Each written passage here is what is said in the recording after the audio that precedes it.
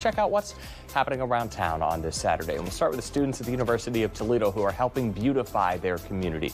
The so-called Big Event is the largest single-day student-run service project at U Toledo, where more than 600 students from more than 30 student organizations volunteer at different sites around the area. We caught up with a group of Rockets volunteering at the University Church Garden, helping clean up the Sacred Grounds Garden and build a chicken coop. It allows them to see kind of what efforts are done for different people in the community, and it might not be stuff that they're exposed to. And I mean, probably the work that they're doing today, they probably have never done.